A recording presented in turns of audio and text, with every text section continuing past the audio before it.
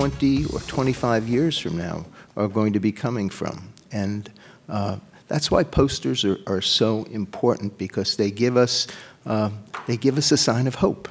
So with that said, I want to again also thank Tina Bell and her team at AlphaMed Press. Uh, without, without Tina's efforts on, on the poster session, this would not have happened. I want to, uh, I want to thank Josh at, at Wake Forest because Josh, too, put a lot of time into preparing for this year's poster presentation, and he deserves a lot of thanks. Uh, I want to thank all of the poster authors for, for participating, and, and most of all, I want to thank you all. I want to thank the participants at the summit because uh, you're viewing the posters, you're discussing with the authors, their work is, is a very significant part of what a poster session is all about. So thank you all.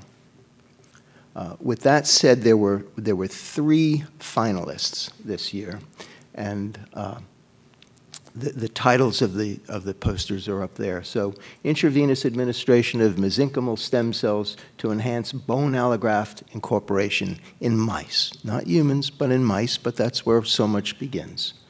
Then, second, second title Novel Human Induced Pluripotent Stem Cells for Hematopoietic Toxicity identifies compounds and inhibiting endothelium to hematopoietic transition in vitro. And the third title, Perinatal Stem Cells as an Anti-Inflammatory Therapy for Lung Disease. So those are the three titles. We'll, we'll look a little bit at, in, more in depth at each of, uh, at each of these to see what they were, were doing. So uh, the first, intravenous administration of mesenchymal stem cells to enhance bone allograft incorporation mice, is coming. Uh, lead author is Zijin Yang from Memorial Hospital in Baltimore. And the hypothesis that Zijin was looking at is that you can use mesenchymal stem cells to support and enhance the success of bone grafts. There are, so, there are many, many millions of bone grafts, I believe, uh, around the world each year. I may, I may be misstating that number. Uh, you know, that millions and millions uh, context always uh,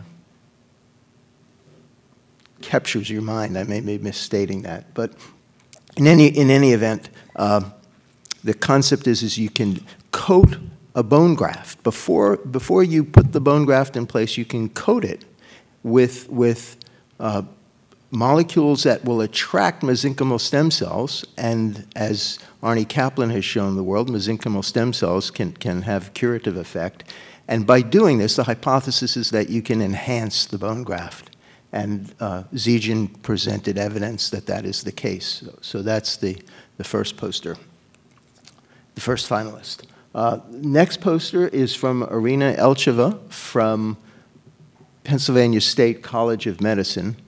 And what Irina presented is a system for using hematopoietic stem cells and the differentiation, the de development of hematopoietic stem cells as a tool for determining whether a, an array of chemicals are, are toxic. Uh, really, really interesting tool, and, and uh, that's, that's what Irina covered.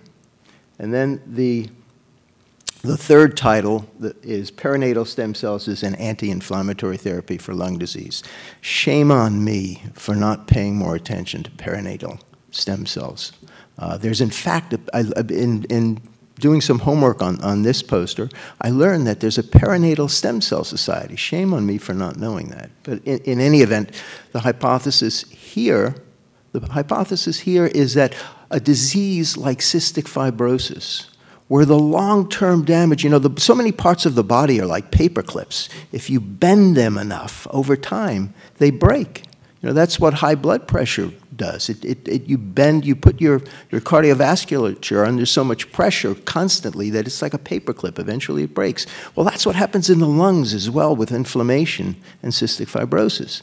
And, and the, the uh, work that, that Ulla did at Wake Forest was to determine whether you can use perinatal stem cells as a, as a means of fighting that inflammatory process that occurs uh, over two or three decades in the lifetime of a, of a cystic fibrosis patient. So that's what, what uh, Ula did.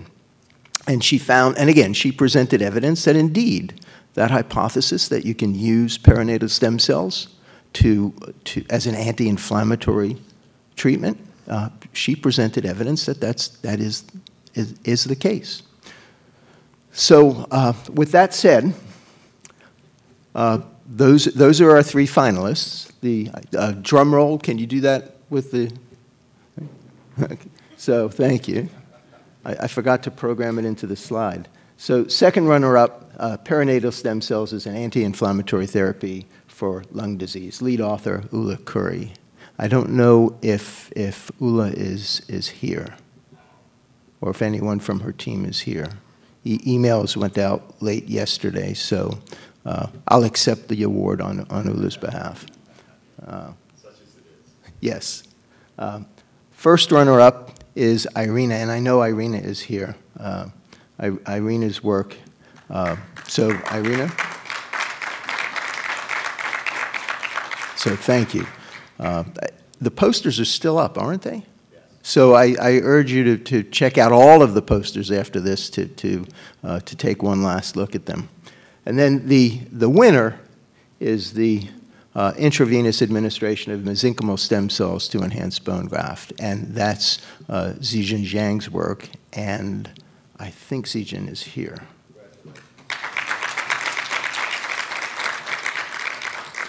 So thank you all, and uh, have a, uh, a wonderful day today and tomorrow, and, and thank you for, again, because without you to view those posters, uh, it would be like a tree falling in the forest without anyone to hear it. So thank you.